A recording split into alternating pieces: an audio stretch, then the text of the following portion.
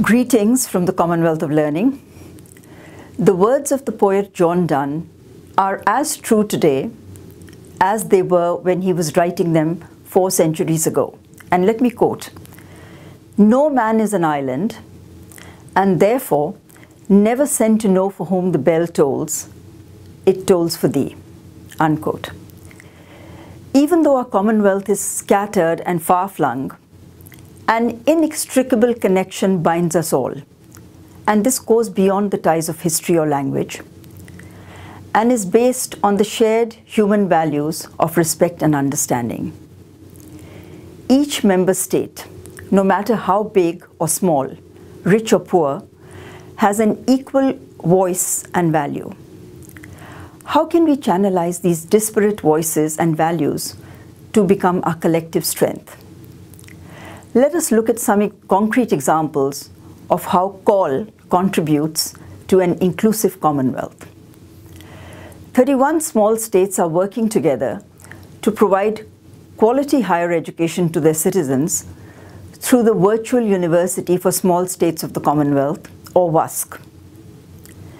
The Commonwealth Open Schooling Association, or COMOSA, includes 21 member states and collectively develops quality materials to increase access to secondary education.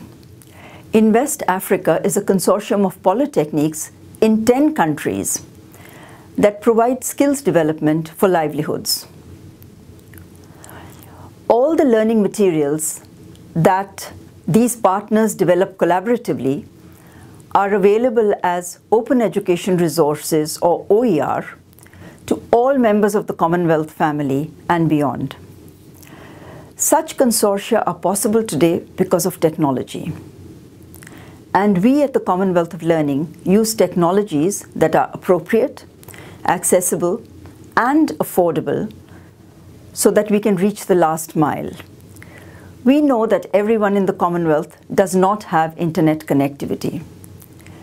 To overcome this, COL developed Aptus, a low-cost offline virtual classroom that allows learners in isolated islands in Kiribati and the remote mountains in Pakistan to access digital resources.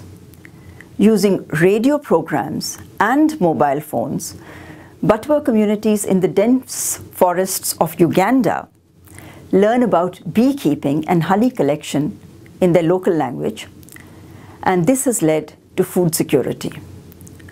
On this Commonwealth Day, let us reflect on what more we can do to make our Commonwealth truly inclusive.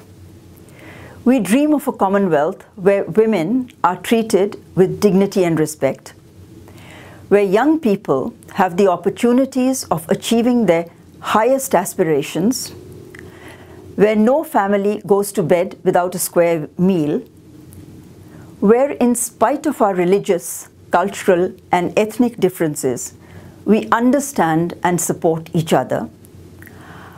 Our inclusive Commonwealth will be a place where, as the poet Tagore said, and I quote, the mind is without fear and the head is held high, and where knowledge is free, unquote.